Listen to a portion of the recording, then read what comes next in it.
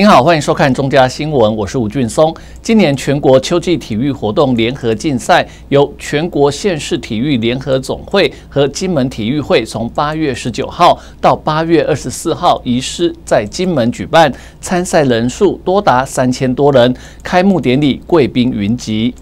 开办四十年来，中华民国一百一十一年秋季体育活动联合竞赛，今年首度移师到离岛金门举行，几乎全台二十一县市都有派员来参加，人数多达三千人。开幕典礼现场贵宾云集，前总统马英九也到场力挺。体力就是国力，强国必先强身，养成规律运动的习惯。不但能够使人体魄健康，也可以使人心情开朗，并且活化大脑。我们不是东亚病夫，我们是东亚壮夫。大家说对不对？基隆竞技选手包括由市议员秦真领队的锤球队及余冠龙理事长领军的慢速垒球队，以球交友，锻炼出更加的体力。我们非常高兴，因为我们台湾去秋季运动会啊，第一次一次到金门。我看昨天来班机都客客客满，而且饭店也都啊客满。这个可以带动地方上，而且也带动金门的运动风气。我希望说，呃，我们基隆的九月三号也是一样，我们的基隆的饭店跟所有的餐厅都满了。希望多办这种大型的活动，对地方。增加体育活动的亮度，而且也带动地方经济，呃，双收。我希望说，啊，我们下届市长不管是谁啊，也要来大力来多办这些活动，促进基隆观光，而且提升呃全民运动健康。希望哦，不止本岛哦带动运动的风气，风气也要让离岛哦一起把它带动起来了。啊，这次哦，还感谢哦。那个县长啊，以及有这个唐理事长的支持啊，才有这次哦办得这么成功了。而全国县市体育会联合会会长郑锦洲一行人，也在金门体育会理事长唐立辉等人的陪同下，到县府拜会金门县长杨振武。让这些相关的活动赛事在金门扎根，哦，我觉得我们也是非常的热切，所以特别感谢啊我们的郑理事长。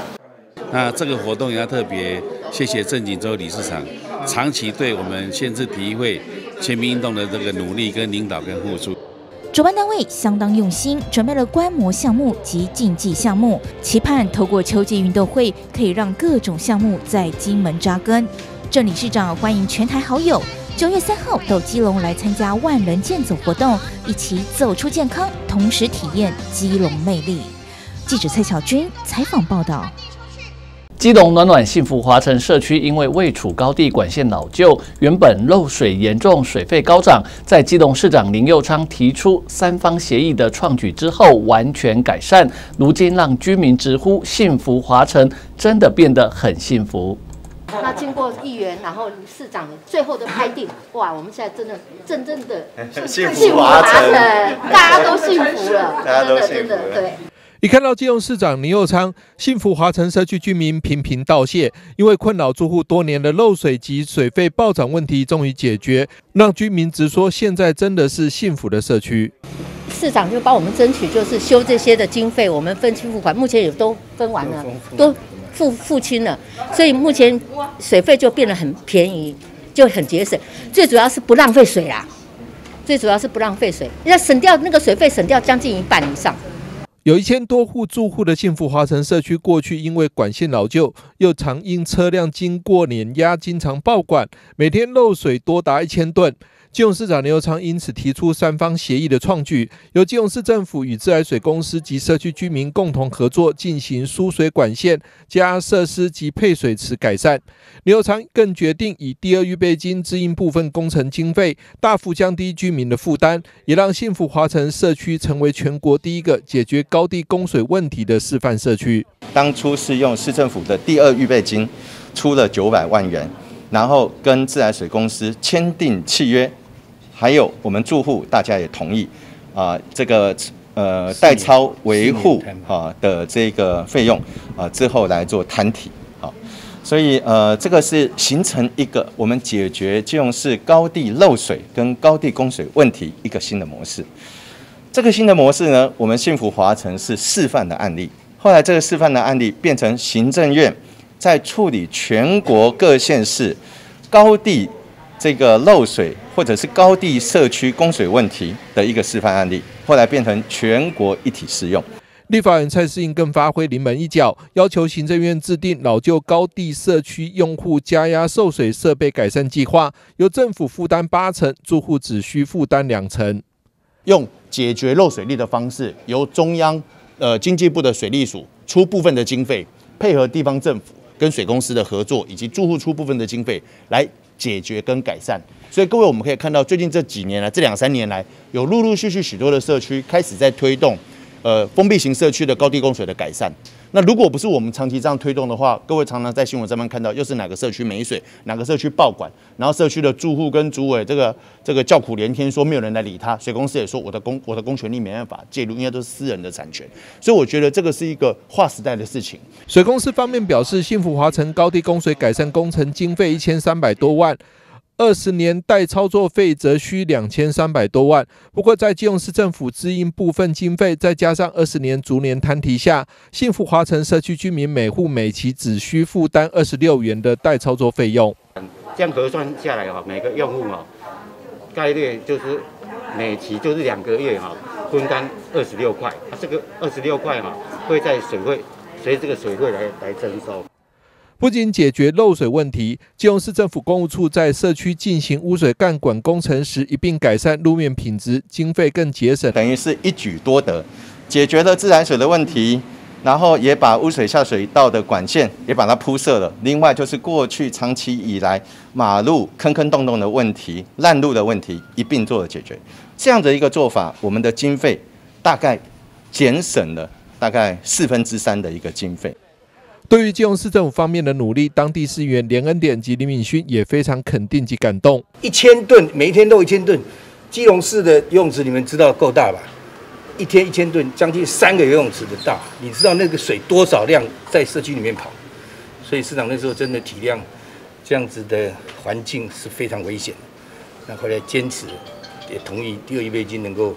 来来先拨用嘛，那把这个事情解决完。这个高地供水的这个和这个经费可以这么顺利，然后让这次换完之后，不只是刚才其实上讲的，不只是水管的更换，那我们这个呃污水管的部件，那整个马路的铺平，那为那个让除了解决掉安全的问题之外，其实让我们这个马路的舒适度哈也非常的非常的好。那其实我们上海其实的在开会跟各位这个呃每个住户，其实大家都是呃赞誉有加。刘长表示，在立法委员蔡适英居中协调多次办理地方说明会下，包括美之国及中央台北社区，预计在今年底可以完成高地供水改善。另外，还有三个高地社区正在进行规划，希望在三方共同合作下，能彻底解决基隆老旧社区高地供水问题。记者张启腾，金融报道。为了协助街友重返社会，知名作家林立清创立公司，带着无家者到各地清洗校园，获得好评。基隆市议员童子伟特别邀请产官学界举办座谈会，希望号召企业资助这项清洗工作。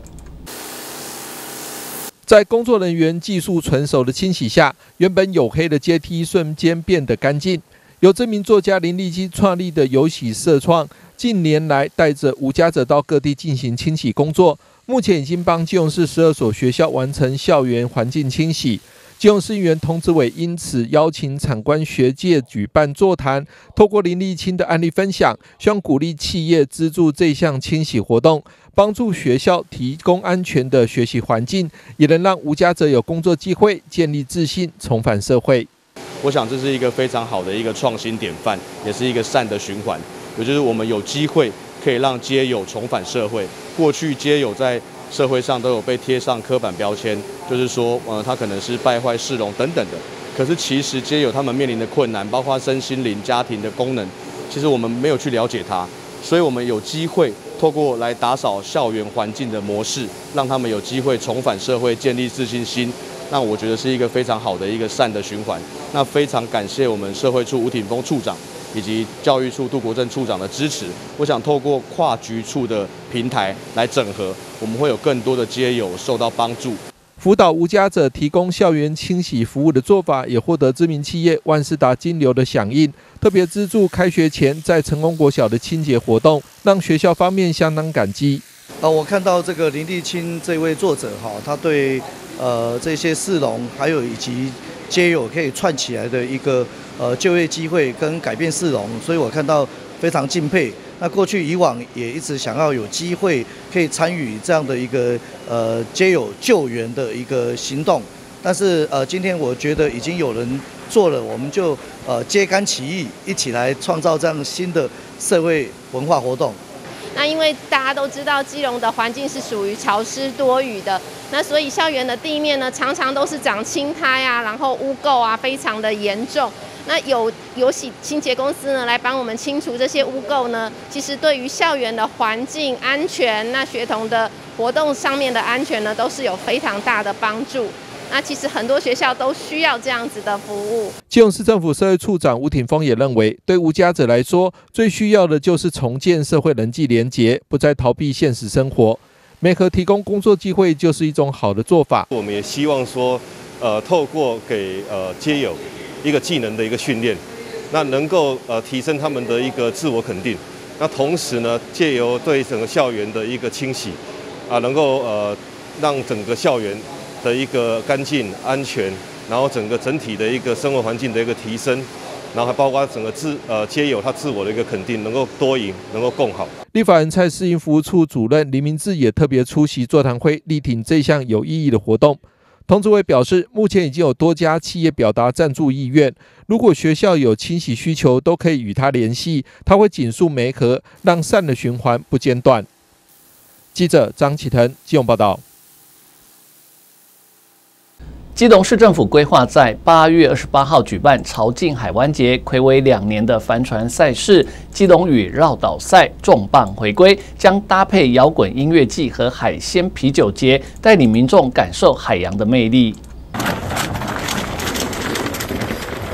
笨利拉的绳索将风帆张开，乘风破浪，即使在海面上。一二三，OK，好。为即将到来的基隆屿绕岛赛，卯足全力加紧练习。二一，请启动！二零二二基隆潮境海湾节帆布帆活动正式启动，请掌声！虽然外头下着雨，但对于面临缺水基隆来说，似乎是好消息，丝毫不减帆船选手参加的热情。台湾节特别有这个帆船赛，那目前还在报名当中。那今年我们为了增加活动的亮点与精彩度，我们特别邀请了 YouTuber 来参加，来当我们的种子队。所以说，今年除了这个热闹非凡的选手队之外，我们还有这个 YouTuber 所组成的种子队，会来参加我们潮境海湾节的帆船绕岛赛，精彩可期。希望大家能够多多来参与。帆船的话，是因为如果一下雨的话，会造成会说风会变小，那动力会变慢。那事实上，我们这个帆船的设计上面的话，基本上在七级风以下的话都 OK 的，所以就算下雨天对帆船也影响也不大。因为在海上航行的时候，我们很难说不遇到呃天气不好下雨的时候。所以虽然今天下雨，但是我们觉得玩的还是很愉快。今年的活动着重在潮海洋、潮渔村及潮音乐三大主题。基隆区会推出了限定美食，邀请新民中有与凡同音或同志的民众，都可以免费喝到限定的漂浮啤酒。让我们二零二二年的潮境海湾节，希望我们的市民朋友能够踊跃来参加。除了我们活动非常的精彩，除了有这个潮摇滚，那有邀请相当多的知名歌手及乐团到我们这个潮境湾来做演出。那同时，我们也跟渔会合办，大家最期待的这个海鲜啤酒节，我们特别跟潮摇滚这边来做合璧。所以今年的听音乐、喝啤酒、吃海鲜，就是整合在一起。另外，这个还有我们这个 Sub 的体验等等许多系列的活动，都在我们的潮境海湾节。那我也非常感谢海委会，还有我们台电，在这过程当中一直做相关的活动预算的支持。哈，如果没有你们的支持，光靠基隆市政府本身的预算是不大够的。响应政府的防疫新生活，希望透过比赛让更多人看到基隆屿之美。记者黄少明基隆报道。你的设计我觉得。左脚。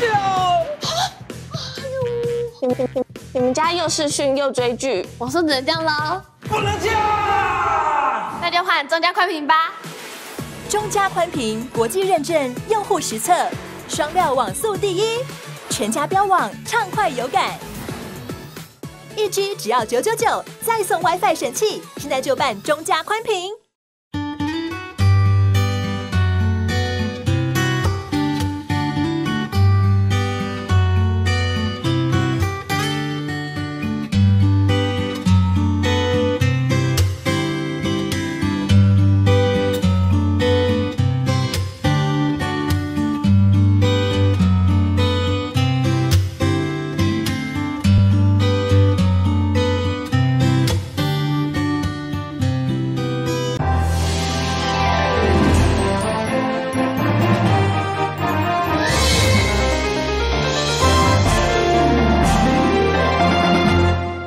由于传出中山区复兴路二一二巷五弄巷口，因为有房屋建案，必须依法施作人行道才能取得使用执照。但是施作人行道就必须把旁边周遭上千户居民使用三十年左右、长约二十公尺的道路封闭，将造成当地交通堵塞、进出不便。这个问题也让当地居民炸锅。当地居民群情激愤，因为这段长约二十公尺左右的道路如果被封闭，将会让他们的车辆进出变得非常不方便。把封起来是就不方便了。不方便呐，吼，哎，这侪年的，拢拢已经都安尼咧行。这是因为传出中山区复兴路二一二巷五弄巷口这里，因为房屋建案必须依法施作人行道才能取得使用执照，但是施作人行道就必须把旁边周遭上千户居民使用三十年左右、长约二十公尺的道路封闭做人行道，阻断两条平行道路连通循环，将造成当地上千户住户交通堵塞、进出不便。这个问题也让当地居民炸锅，包括基隆市议员宋伟立和张炳军，以及当地德和里长曾胜维都反对这样做。蛮头痛的，就是整个路要把它封起来，因为那属于私人的土地。但问题是，我们的法令不是有规定，只要我们继承巷道经过二十五年，不管你私人或公家的，就是要让民众通行。那为什么一百？我刚刚有看到那个他。公务处那边有说一百零五年，哈，一百零五年，它上面有写，意思就是说要把这条路封起来，但我觉得这样很不合理啊。对，那我们也要求市政府有两个前提来去作为主责，第一个就是我们五弄是绝对不能作为人行步道。不能去影响到我们通行空间。第二个就是说，我们也希望在合法的情况下，尽速让我们这个建案赶快拿到使用执照，让我们同一新城的发展可以变得更好。那未来的话，我跟宋伟立宋议员，我们也会来共同来去办协调会，并召集我们市政府的各部门，大家来共商解决这个问题，然后来让我们同一新城，让我们德和乙这边发展也变得更好。全部都是表达反对这边。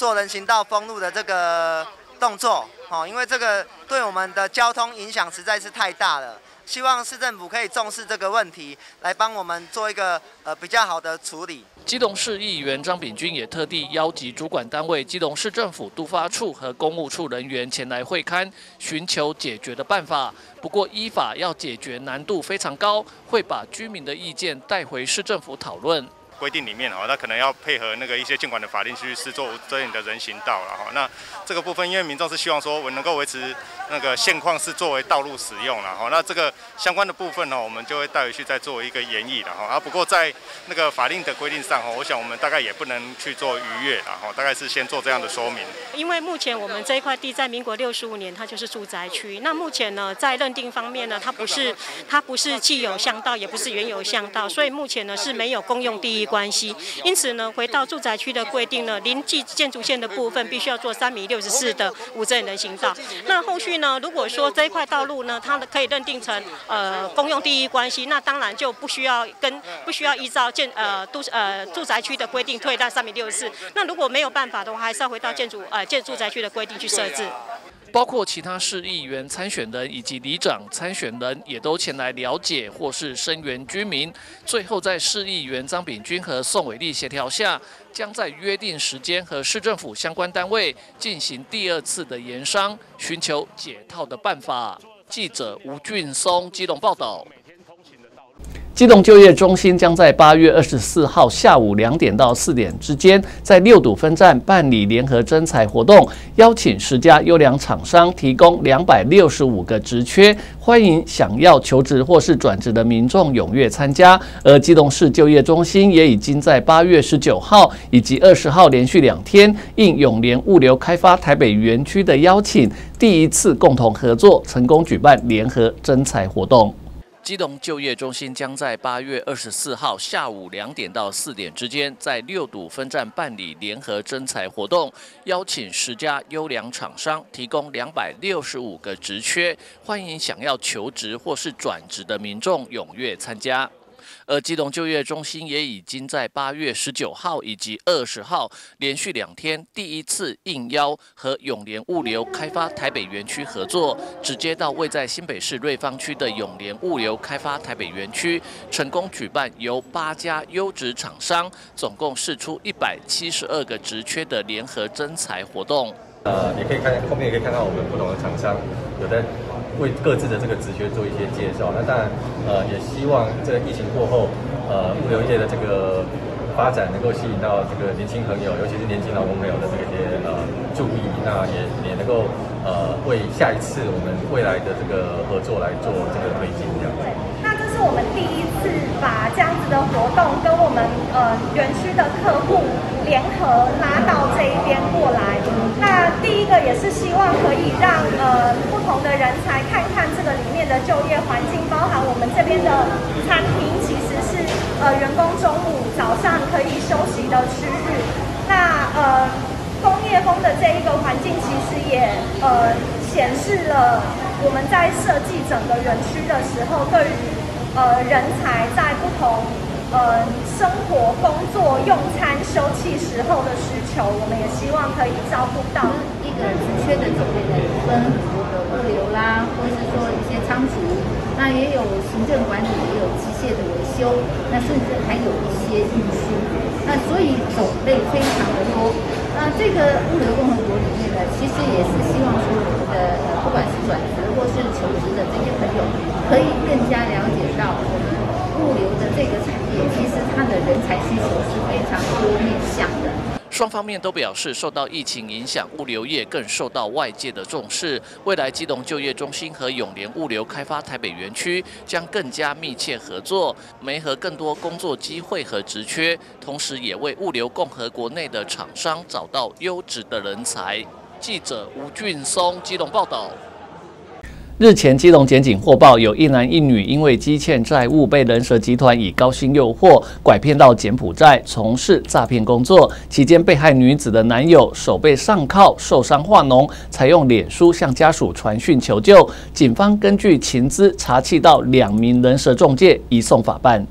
脸书对话中，男子向亲友求救，表示自己遭到拘禁，双手上铐，已经流血，利用定位告知亲友自己在柬埔寨的位置。基隆一对情侣前往柬埔寨工作，惨遭人蛇集团控制，还威胁要摘掉他们器官，向家属勒索赎金。基隆警方接获宜兰警方通报，发现这对情侣是搭乘一辆修理车前往机场，巡线抓到两名嫌犯。基隆市警察局第三分局访查出境柬埔寨国人家属，发现辖内有一男一女。疑似因为积欠债务而受高薪诱惑前往柬埔寨打工，期间多次传送求救讯息给家属，表示行动受到限制，甚至有被转卖、上手铐受伤的情形。本分局接获此情资，立即与本局刑事警察大队共组专案小组，在掌握了嫌犯的身份及相关的犯罪事证，立即报请基隆地方检察署指挥侦办。顺利执行两嫌到案，寻后依人口贩运防治法送办。警方调查，两名嫌犯除了在这对情侣前往搭飞机，还帮忙办护照和买机票，从中获利十万元，并由检察官向法院申请羁押获准，并将持续追查其他共犯。警方在此呼吁，近期国人受诱骗出国打工情事被害增多，警方会将每一个被害的案件视为重大刑案侦办，也运用。各式的侦查能量，持续追查其他共犯及犯罪的首脑到案，并将运用各项资源及刑事法律救援被害国人返国。目前这对情侣还受困在柬埔寨，家属和警方已经透过外交部全力展开救援，只希望各界积极救援下，两人能够尽快平安归来。记者黄少明接用报道。台北市南港分局日前在追查毒品案时，循线向上溯源，发现不少药头都会到新北市中和一处洗车厂光顾。警方进一步追查，发现洗车厂的老板就是毒品供应商，一举查获摇头丸和 K 他命等毒品。南港分局同德派出所持搜索票前往中和一家汽车洗车店，查缉黄姓男子涉嫌在大台北地区贩售摇头丸及 K 他命毒咖啡包。供不特定人士使用牟利。台北市政府警察局南港分局同德派出所日前因侦办毒品案，得知昵称齐某之黄显于大台北地区涉嫌贩卖第二三级毒品，供不特定人私用牟利，立即报请新北地检署检察官指挥侦办。案经多日跟监埋伏，发现黄贤长期以综合一处洗车店作为据点贩售毒品，于日前见时机成熟。持新北地方法院搜索票，于该处起获第二、三级毒品等犯罪证物。范贤为隐匿物证，将摇头丸藏于洗车工具桶内，企图规避警方查缉。经警方地毯式搜索中查扣证物。警方调查，黄姓嫌犯为了躲避警方查缉，长期以综合一处洗车店作为据点，涉嫌贩毒。为了躲避查缉，嫌犯将毒品藏在洗车店的工具桶内。警方总计搜出了一百二十三公克的毒品和分装相关工具。全案侦讯之后，依违反毒品危害条例，移送清北地检署侦办。记者黄少明台北报道。感谢您收看中嘉新闻，我是吴俊松，再会。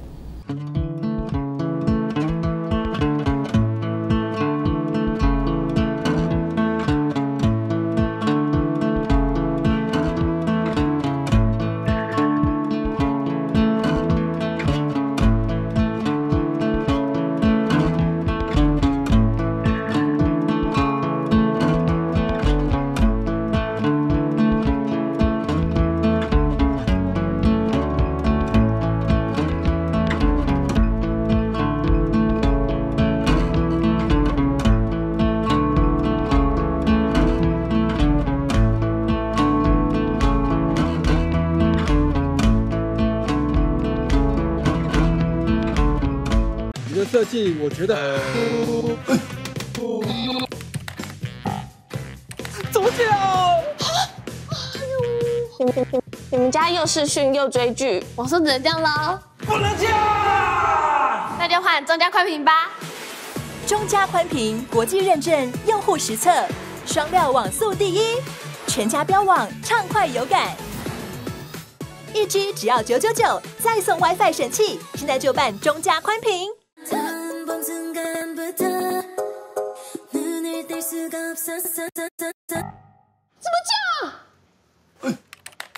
有有追有追剧有视讯，网速只能降了。不能降！那就快换中加宽屏吧。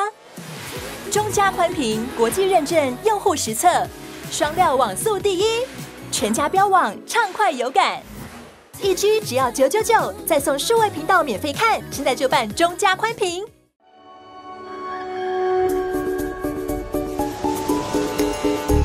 在